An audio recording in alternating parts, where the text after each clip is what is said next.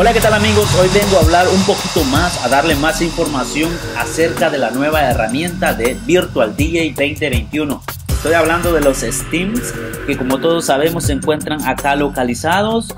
Eh, actualmente ya me imagino que han de haber intentado usarlos eh, para eliminar la voz, la instrumental, los beats, etc.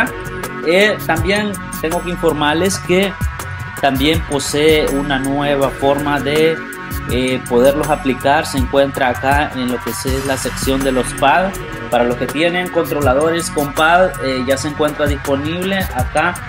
Eso es muy importante pero la información que traigo acerca de ello es la siguiente. Eh, tenemos la actualización actualmente de P6042 en esta versión y la anterior hemos visto algunos cambios en lo que se trata la parte de desempeño esta parte de desempeños Virtual DJ ha trabajado mucho ya que la nueva juguetito que nos ha puesto ahí de los Steams necesitan computadoras o también controladores que sean de muy alta capacidad.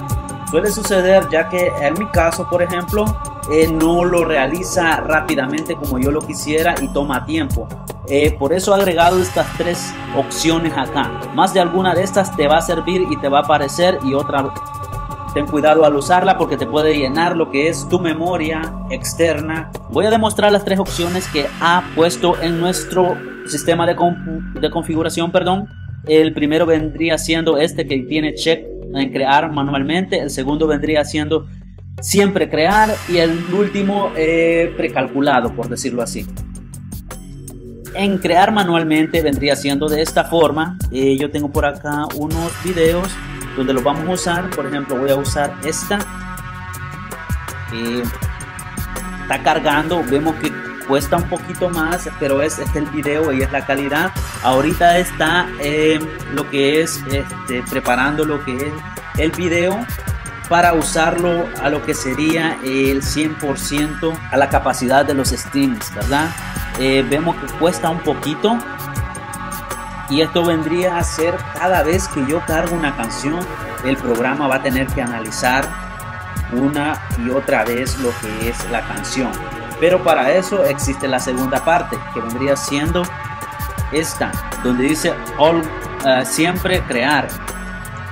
Si yo le doy check a esta y lo dejo ahí, veamos, yo voy a cargar lo que sería esta otra canción a este lado vemos que hace lo que es el mismo proceso.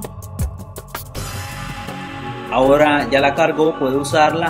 Ahora está reanalizando lo que es eh, la canción para poder llevar a cabo lo que es el uso de, lo, de los steams.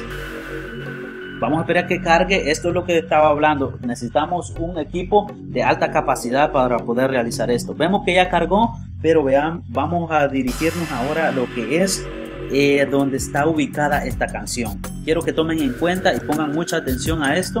Voy a abrir lo que es el, folder donde está ubicada la, la, canción y vemos. Esta es la canción original. Eh, y me dice que tiene 22.9 megabytes. Ese es el espacio que ocupa la canción, que es un MP4. Y ahora vemos que nos ha creado un archivo eh, este archivo ocupa el espacio de 16.1 eh, megabytes.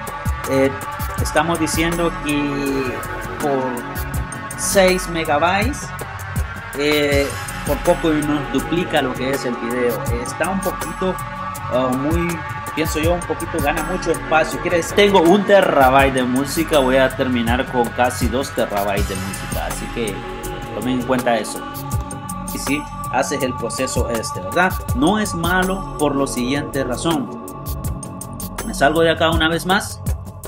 Eh, mira, acá apareció ya un nuevo icono que representa que la canción ya no necesitas, por ejemplo, si yo la cargo acá, eh, es súper rápido, súper rápido, no tienes que esperar nada.